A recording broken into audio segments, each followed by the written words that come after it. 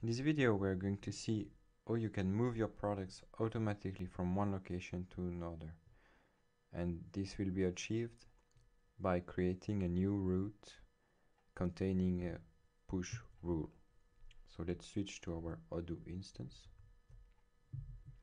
And let's go first in configuration routes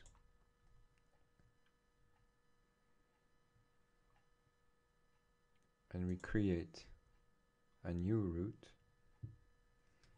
which is called wh stock direction. Wh stock rack number one. We apply this route on the products and here we are going to add a push rule. And the operation name of this push rule will be wh stock direction. Wh stock rack number one. The source location will be wh stock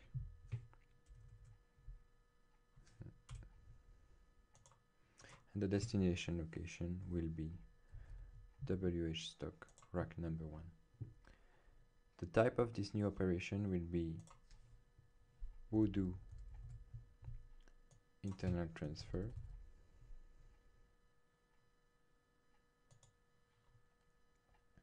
and it won't be an automatic move but a manual operation.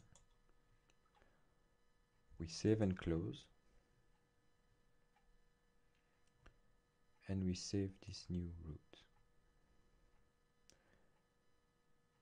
Now we have to make sure that this route is applied on a specific product. So we go in products, we click wood panel 300, we edit this product and in procurement we check the box of our newly created route WH stock direction, WH stock rack number one. We save the change. Now we go to the purchases app and we create a purchase order for Woody Woodpecker and we are going to buy 10 units of wood panel 300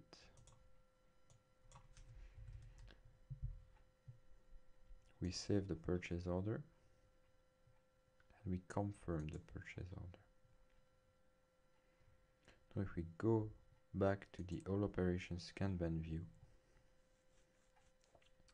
we have in the Odoo internal transfer an internal transfer which is waiting for another operation and this other operation is the receipt of the product in our main stock location WH stock. So we are first going to process our incoming shipment which is ready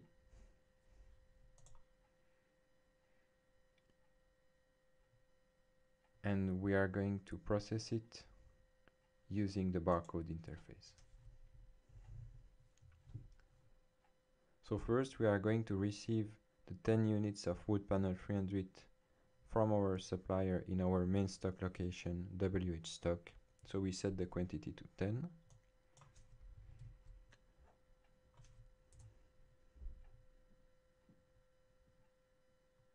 We put in cart.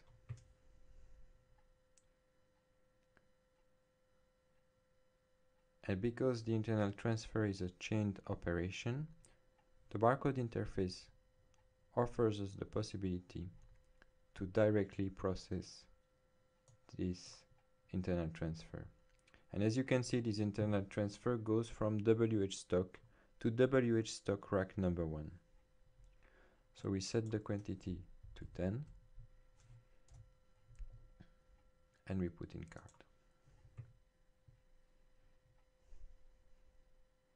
And since there is no operation left, we can go back to the Kanban view, the all operations Kanban view.